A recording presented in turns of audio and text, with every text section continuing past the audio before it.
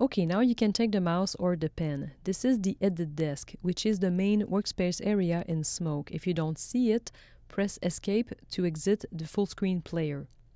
The edit desk is divided in two main parts. At the top, you have the source area and under it, the record timeline. This is a multi-layer timeline with full editing functionalities. Let's see how to access the different players and how to navigate the timeline. If you press Escape at this time, it will bring you to the record player. And if you press Ctrl Escape, this will display the full player. Another useful view is the record and source players. To access this view, press Shift Escape. Okay, now let's return to the record player by pressing Escape. To navigate the timeline, use the pan bar. Drag left or right to pan, and drag up or down to zoom in or out. The vertical yellow bar that you see is called the positioner. Click and drag the positioner to scroll the timeline. To reframe the entire timeline in the viewer, press the Home button located on the right corner of the timeline. Next, we are going to composite a shot on the timeline. Notice the red mark on the timeline. Drag the positioner on the shots right after that marker. Drag the pan bar up to zoom in into the segments. We have three shots here. We have the final composite, a backplate, and a green screen. To change the player focus point, click and drag the little crossbar on the positioner and release it on the layer that you want to have in focus. You can also press page up or page down on the keyboard. Put the focus point on the backplate.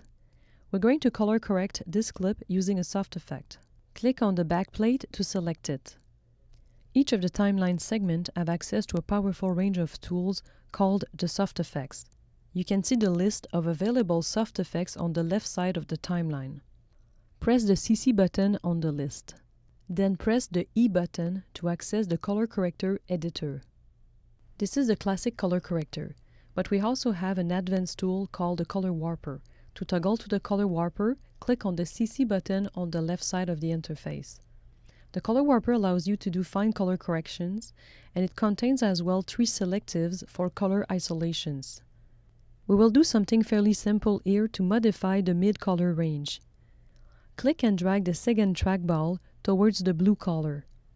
If you use a mouse, you may have to drag several times. It is not as sensitive as the pen. Now let's increase the contrast a little bit. We're going to drag the black slider slightly to the left. That's the look we want for this. Press exit to go back to the timeline. If you want to see the shot before and after, you can turn the effect on or off by clicking on the little blue LED on the CC button. Alright, so next step will be to pull the key for that green screen. First, move the focus point to the top layer, and then select the top segment. On the left side, choose the Axis Soft Effects, and then press the E button to access the Axis Editor. Make sure the display is set to Preview Effects, to access the keyer module, press the keyer button located under the player controls. The default keyer is set to luminance. Click on the master keyer instead. The first step to pull a key is to set the initial key color. Click on the left gray swatch and with the cursor drag into the green screen area. This sets the start point for your key. Let's have a look at the matte created so far. Go on the view list on the left and change the result view for the matte view. We have several advanced tools in the master keyer that can be used to refine this matte. In this case, we're going to use a quick patch to clean the black. Under the sampling section, click on the matte sampling and change it to patch 1. Then hold the Control key and with the cursor, draw little rectangles to sample the gray pixels that you want to turn into pure black. When this is done, switch back to the result view. By the way, there is a very nice automatic color suppression tool in the master keyer that will take care of the spill color.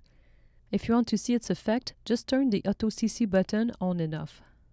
We still need to take care of the track marks. To do so, we're going to use a garbage mask. Make sure to start at frame 1.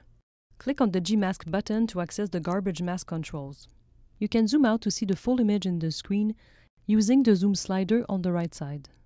To add a new garbage mask, press the Add Geometry button on the right side of the player controls. Then click on the screen to add the first point of your garbage mask. Continue to draw the mask by adding points surrounding the track marks. To close the shape, click on the first point of the mask or press the Close button. Now we need to change the color of the mask so it's transparent. Set the mask color attribute to 0. Scroll the clip to verify that the mask is still good at every frame. If you need to, reposition some of the point of the mask. Since Auto Key is on, this will be animated over time. When you're done, press the Return button to go back to the Axis menu and Exit to go back to the timeline. If we process the selected segment, this will also process the other layers under it.